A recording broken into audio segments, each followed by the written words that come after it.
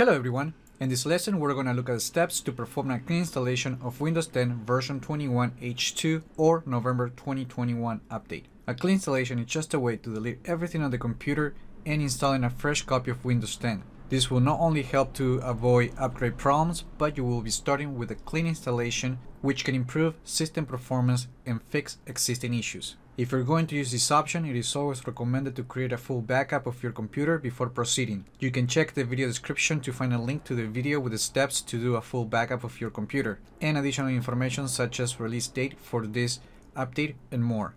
In this tutorial, I'll be using the media creation tool to create a USB bootable media to install the Windows 10 version 21H2. Okay, so to upgrade your computer using a clean installation of Windows 10 21H2, use these steps. First, you need to download the media creation tool from this Microsoft Support website. Under the Create Windows 10 Installation Media, click the Download Tool Now button. Once you downloaded the file, just simply double click it to launch the setup. You can find the link to this page in the video description below. Just remember, if you download the tool before the November 2021 update is available, you won't be able to install the new version. It will only install the current version at that time. Click the Set button. And now select the Create Installation Media for another PC and click the Next button.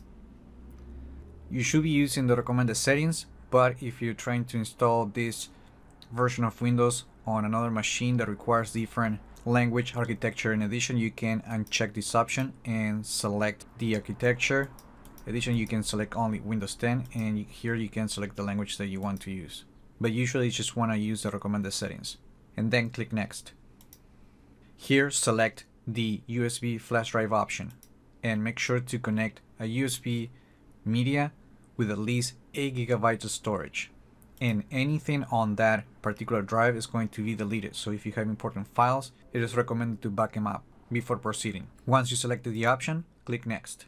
Then select the removable drive from the list. If it is not available, click the refresh list option and then click next.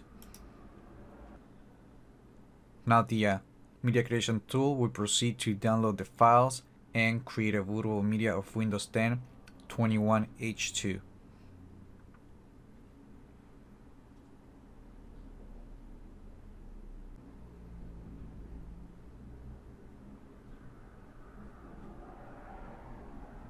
Once the uh, media has been created, click the finish button and keep the USB drive connected to the computer and then reboot the device. Also, you have to make sure that your PC can start from USB. Usually to boot your computer from USB, you need to change the BIOS settings, which is pretty much different on every computer. So make sure to check your device manufacturer support website for more details. Typically, you can access these settings by pressing one of the functions, delete or escape keys during boot.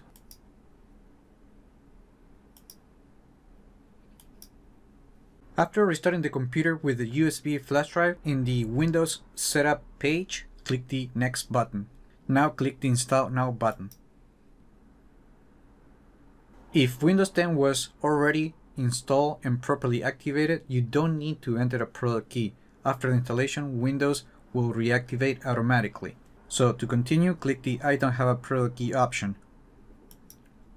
If you get this option, select the version of Windows that you want to install and this has to match the product key that you have and then click next. Check this option and click next to accept the license terms. Since we'll be doing a clean installation, select the custom install Windows only advanced option. And here we're going to delete all the partitions to create a single large unallocated space.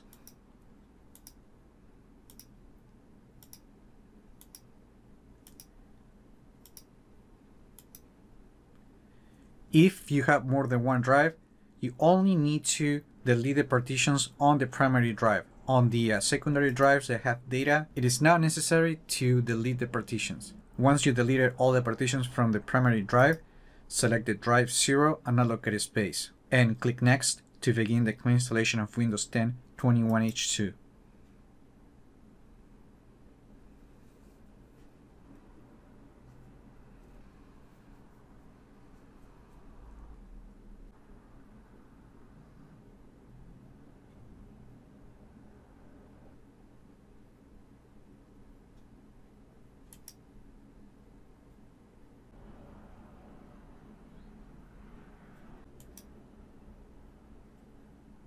And now we're going to complete the setup by selecting the preference and creating a new account. In here, select your region and then click yes.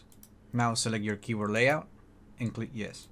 If you need a second keyboard layout, just click the add layout button, but usually you just want to skip this option.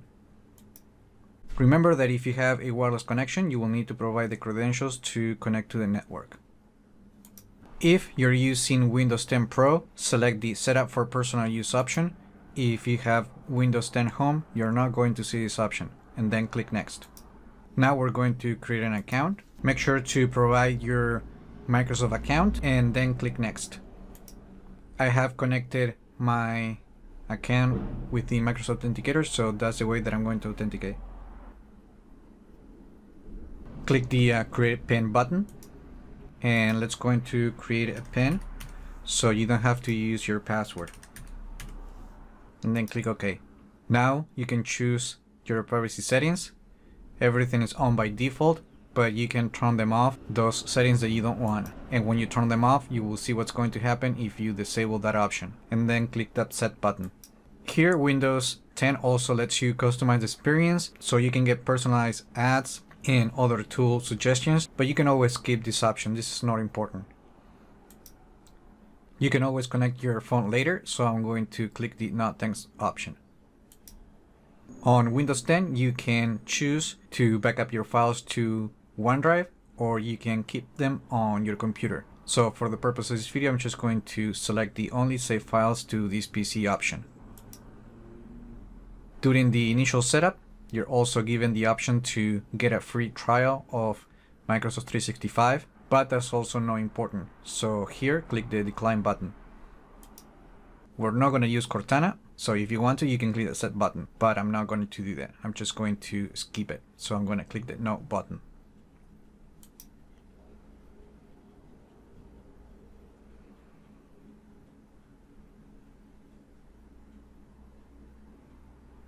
And that's it. We have successfully upgraded to Windows 10 version 21 H2 or November 2021 update. And you can check by opening settings and then going to system and on the about page under Windows specifications, you can see that the current version is 21 H2. Also, while in the settings app, you also want to go to Windows Update and make sure to download any available updates. Furthermore, you want to open Device Manager to make sure that you don't have any missing drivers. If you get any red or yellow notification, make sure to check your manufacturer support website to download the missing drivers and any other software that you need to install on the computer. Also remember to restore your files from backup as necessary.